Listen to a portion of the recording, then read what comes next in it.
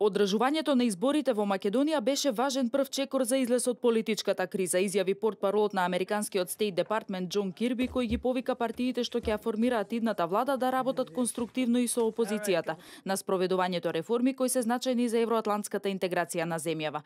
Тој истакна дека САД се согласува со првичните заклучоци на ОПСЕ и ОДХР дека изборите биле конкурентни и дека фундаменталните слободи беа генерално почитувани. Кирби го потенцираше високиот одзив на македонските граѓани и посочи дека изборите беа спроведени на мирен и уреден начин со неколку случаи на процедурални нерегуларности.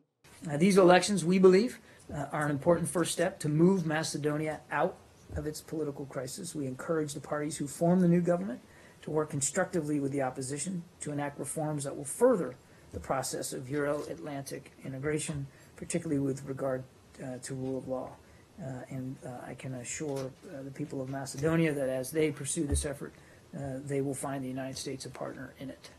Доцна синоќе и високата представничка за надворешна и безбедносна политика на Европската Унија Федерика Могерини и еврокомесарот за преговори за проширување Јоханес Хан излегоа со позитивна оценка на мирните парламентарни избори во Република Македонија. Могерини и Хан истакнаа дека овие вонредни парламентарни избори беа клучен елемент на договорот од пржина од 2015 година и нудат на земјава клучна можност за обнова на демократски, конструктивен диалог за надминување на долготрајната политичка криза и обединување зад заедничката цел на евроатлантските интеграции.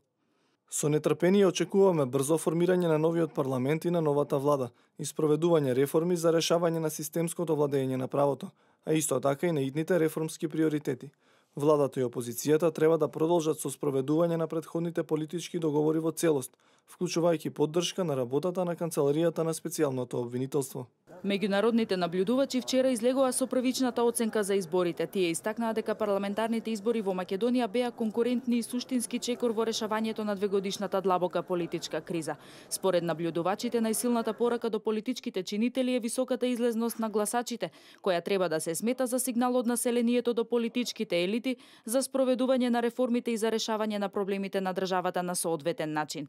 Позитивната оценка на предвремените парламентарни избори според извештајот на ОПСЕ ОДИХР ДПР се најде и во заклучоците на Советот за општи работи на Европската Унија, кој денеска во Брисел го усвојува пакетот за проширување на Европската комисија и носи заклучоци за самитот на Европскиот совет закажан за вчетврток.